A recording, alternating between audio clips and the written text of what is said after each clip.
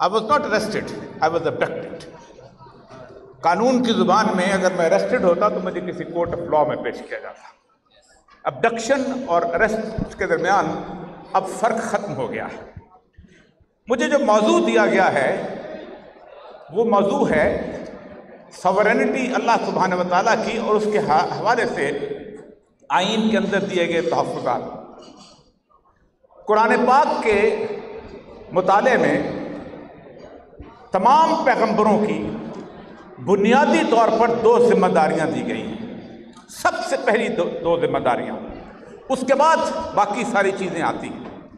सैदना मूसा को जब अल्लाह तबारक वाली ने फ़िरौन के दरबार में भेजा तो उससे कहा इन्ना तका ये बहुत सरकश हो गया है। और सैदा मूसा ने दाखिल होते हुए दुआ पढ़ी इन्नी उस तो रब्बी रब कुम मिनकुल्ल मुतकबर ए अल्लाह, मैं तेरी और इस शख्स के रब की पनाह माँगता हूँ हर उस मुतकबर के मुकाबले में कि जो अल्लाह की क़्यामत में आखिर पर यकीन रखता। हज़रत मूसा ने फ़िरौन को यह नहीं कहा कि तुम अल्लाह पे यकीन करो। हज़रत मूसा ने फ़िरौन को यह नहीं कहा कि मैं पैगंबर बना के तुम पर भेजा गया हूँ। पहली बात, पहला मुतालबा इस्लाम के अंदर और कुरान के अंदर यह है इर्सलमाना बनी इसराइल बनी इसराइल को आज़ादी दे दो। जब तक आज़ादी की तस्वर नहीं आता, ना दीन नाफज होता है, ना ईमान नाफज होता है, ना कोई और चीज़ नाफज होती है। पहली चीज़, मक्का की वादियों से हिजरत किस लिए की गई थी? मुकम्मल आज़ादी, ताकि आप अपने उस मामले के अंदर अपने अपने अपने असूलों के मुताबिक ज़िंदगी बसर करें। और दूसरी चीज़ जो इसी आइन के तहत तहफ़ दी गई है। अल्लाह कहते हैं कि मैंने तमाम पैगंबरों को भेजा, मैं कुरान की आयत सुन, तमाम पैगंबरों को लकत अरसलना रसुलना बिलबैनात निशानियाँ देकर भेजा वह अनजलना माहमुल किताब, और किताब देकर भेजा, वल मीज़ान, और मीज़ान, ये जो जो जो सुप्रीम कोर्ट के बाहर लटकी हुई है, ये जो हाई कोर्ट के बाहर लटकी हुई है, क्यों भेजा? यकूबन नासबिल किस लोगों के दरमियान मुसलमानों के दरमियान नहीं ईसाइयों के दरमियान नहीं यहूदियों के दरमियान नहीं लोगों के दरमियान पैगंबर क्या करता यकूमन नासबिल किस रूल ऑफ़ लॉ कायम करें। ये पैगंबरों की ज़िम्मेदारी थी रूल ऑफ़ लॉ को कायम करना। ये पैगंबरों की ज़िम्मेदारी थी इंसाफ को कायम करना।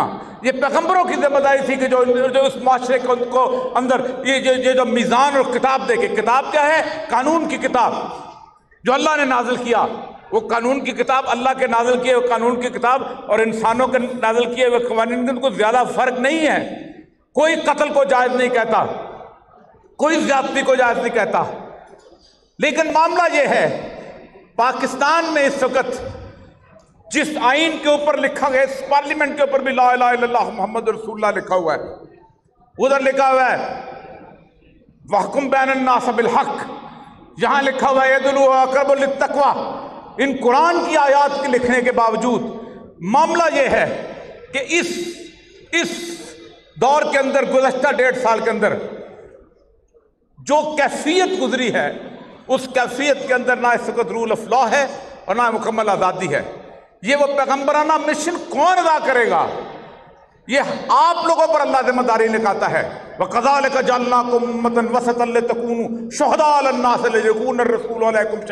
हमने तुम्हें ज़िम्मेदारी दी है। बिल्कुल वैसी ज़िम्मेदारी जैसी हमने पैगंबर को दी थी कि तुम पर गवाही दे। दो जिम्मेदारियाँ मुझे पूरे इसके अंदर उठा और अल्लाह कहता है, जब तुम नहीं करते हो ना, जब तुम आज़ादी नहीं करते हो ना जब तुम मुकम्मल आज़ादी की जदोजहद नहीं करते हो जब तुम रूल ऑफ़ लॉ नहीं करते हो अल्लाह कहता मैं क्या करता हूँ? लिबास वल खौफ। मैं तुम्हें भूख और खौफ का लिबास पहना देता हूँ। क्या हमने भूख और खौफ का लिबास नहीं पहना हुआ? क्या हम ज़िंदगी के अंदर वो उस कैफियत के अंदर नहीं है कि जो जिसको अल्लाह बयान करता है कुरान के अंदर कि, कि हम उनको ऐसी कैफियत के मीशत जन का एक ऐसी कैफियत में कहेंगे कि उनकी गुजरान मुश्किल कर देंगे वो ज़िंदा रहना चाहेंगे नहीं रहेंगे वो, वो, उनके पास पैसा होगा दौलत होगी लेकिन उसके बाद उनके लिए सहूलियात जो बेमानी होकर रह जाएँगे गुजरान मुश्किल कर देंगे। वही नहूला मीशतन का तो अब मसला सारा ये है भूल है उन सारे लोगों की कि जो इस कायनात का पहिया उल्टा करते हैं। मेरी उम्र अठासठ साल के करीब है। दुनिया की तमाम तारीख उठाई और पाकिस्तान की दो मूवमेंट्स उठा रहे जब कभी मूवमेंट उठी है, हमेशा प्रेस पर पाबंदी हुई है। उसके दरमियान उठी अयूब खान के खिलाफ मूवमेंट उठी प्रेस उसके पास, अखबारें उसके पास रेडियो उसके पास टीवी उसके पास लेकिन हम बच्चे थे, जब अयूब कुत्ता हाय हाय पूरी गलियों में होता था, अयूब खान को पूछा, तुमने छोड़ा कैसे? उसने कहा, मैं अपने घर में बैठा हुआ था। तो ये मेरे दोनों पोते जो थे, अचानक एक झंडा सा उठा के तकरीर कर रहे थे, नारा लगा रहे थे, अयूब कुत्ता हाय हाय। ये होती है पब्लिक स्पोर्ट। 77 तमाम लोग जेल में थे। तमाम लोग। मुझे याद है साहब उस वक्त उस गवर्नमेंट को छोड़ के वाकई रूल ऑफ़ लॉ के लिए बाहर निकले थे। आप हैरान होंगे कि लेफ़्ट के लोग हुसैन नकी जेल में मजर खान जेल में, पंजाब का पंच के मुजफ्फर कादर जेल में सऊद्दीन जेल में, अल्ताफ हसन कुरैशी और मुझे वर्मा शामी कौन कौन जेल में नहीं था? तमाम प्रेस उसके साथ था। लेकिन 77 के जो लोग लाहौर के शाहिद हैं, उन्होंने वो जुलूस देखे हुए हैं कि जिन्होंने तख्ता उलट के रख दिया था। आप क्या समझते हैं? दुनिया में रेवोल्यूशन जो है वो प्रेस के ज़रिए आते हैं। पूरे के पूरे 1917 के अंदर जब रेवोल्यूशन आया है, उसका बॉल्सवेक रेवोल्यूशन तो साइक्लो स्टाइल मशीन के ऊपर वो कागजात घुमाते होते थे, वो लेके जाते होते थे। मसला सिर्फ़ ये मैं ज़्यादा बातें आपके साथ नहीं करना चाह इसलिए कि बुनियादी तौर पर दुख, अलम और कैफियत ऐसी है। कि इस वक्त हम उस मकाम पे आ चुके हुए हैं। इनकलाब के और तब्दीली के जो मर्रखीन हैं जो जो उनके उसके उसके उन, उनके माहरीन हैं वो कहते हैं कि हर माशरे का एक टिपिंग पॉइंट होता है। एक कुत बर्दाश्त की हद होती है। गधे के ऊपर गधे के ऊपर आप लाठियाँ लगते जाते हैं। एक दो तीन चार पाँच दो हज़ार लाठियाँ होती हैं। वो खामोशी से बर्दाश्त करता है। अचानक दो हज़ार एक के उम्र उछल पड़ता है। और लोग समझते ये हो क्या गया? जो इकतदार में बैठे हुए लोग होते हैं, वो अवाम को गुब्बारा समझते हैं। गुब्बारे की तरह फूक फरते जाते हैं फरते जाते हैं, गुब्बारा लंबा होते जाता है, एक दिन उनके मुँह पे फट जाता है। इस ममलिकत खुदादाद पाकिस्तान में लोगों की कुत बर्दाश्त बहुत है, लेकिन मैंने ये देखा है, जिस दिन हमने 9 अप्रैल 77 को सोहेल शामी की लाश उठाई थी, उसके बाद हमें याद है कि क्या क्या सूरत हाल हुई थी और कैसे चीज़ें बदली थी। कोई रास्ता नहीं निकला था।